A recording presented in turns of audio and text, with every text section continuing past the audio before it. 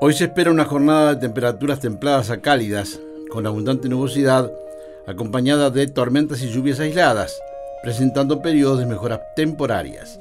Mañana martes se mantendrán altas temperaturas, con abundante nubosidad, persistiendo tormentas y lluvias aisladas principalmente en las zonas centro y norte, observándose importantes mejoras temporarias en la zona sur y este. El miércoles seguirá cálido a caluroso, con persistencia de lluvias y tormentas aisladas en las zonas norte y nordeste. El resto del país presentará nubosidad variable, desmejorando nuevamente en la noche. Aquí en Capital y área metropolitana, hoy tendremos una jornada húmeda e inestable, con abundante nubosidad, generando lluvias y llovinas aisladas con mejoras parciales.